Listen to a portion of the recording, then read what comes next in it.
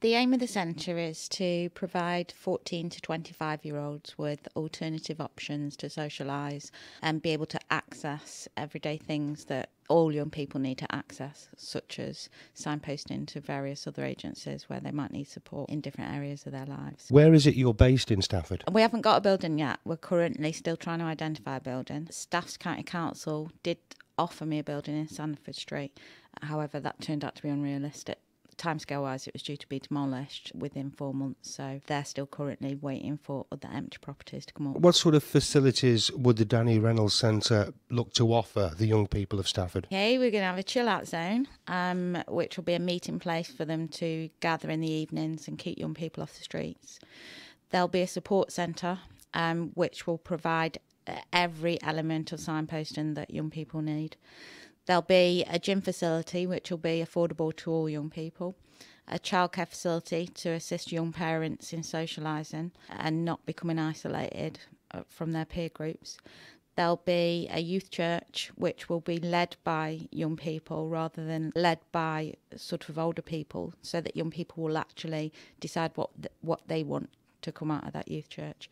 There'll be a quiet room where young people can use that for various things, uh, just time to be alone where they want to gather their thoughts. Um, for those that come from large families, somewhere to sit and do homework or assignments when they've got nowhere else to go. I can imagine that fundraising is a major priority then for you at the moment. Tell us about some of the fundraising events you have for the Danny Reynolds Centre. We've done various fundraising events over the last 18 months. My daughter Tia and her friends have done several backpacking events at Tesco and Asda. We did a 24 hour sponsored football match at Beaconside. We had a reggae night which was in memory of Danny. That was a huge success. We have done car washes with the football team because we're in a, an outreach with the football team. It's and so it's ongoing with small sort of fundraisers between us. And we've had some donations as well.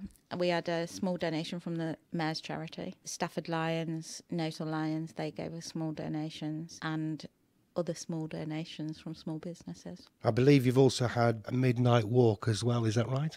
Indeed, we did. We had two of those. The first one uh, the, to mark the 12 month anniversary of Danny, and it was a midnight pyjama walk. Tia organised that herself.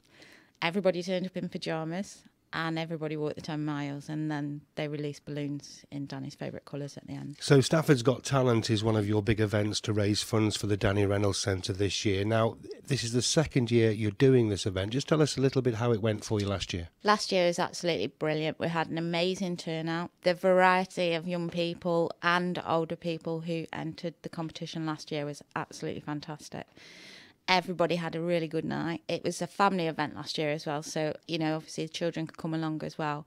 It was a huge success last year, and a lot of people asked me to put it on again this year because of last year's success. What sort of talent has Stafford got then that comes forward to take part in something like this? Uh, I'm guessing, obviously, bands and singers, but do you get other acts as well uh, getting involved? Last year we had some quite unique accent as Stafford Got Talent. We had quite a few singers enter last year um, and a couple of bands and dance troupes. We had a solo dancer who entered and got that entire room standing on their feet.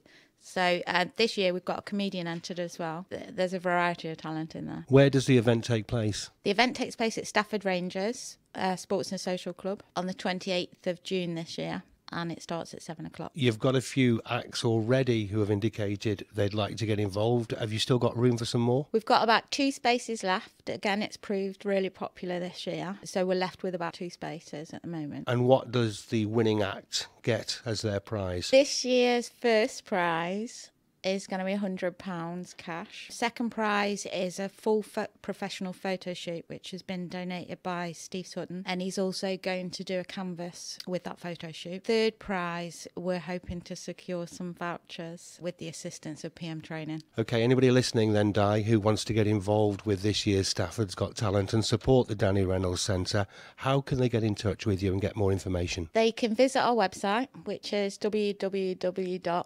DannyReynoldsCentre.com. They can contact me directly on 079088166972. Via the website, they can send email, Facebook messages, Twitter. They can find us on Twitter at DR Centre. Okay, I'll, I'll, repeat those details again in a few moments. Well, Di, we wish you all the best with this. It, it sounds like a, a, wonderful event you had last year uh, and raising money for a very, very worthy cause, and of course, having a bit of fun in the process as well. We wish you every success with it this year, and hopefully, we can keep in touch and uh, you can come back and talk to us again and let us know how things are progressing with the centre and also how the event went for you. Thank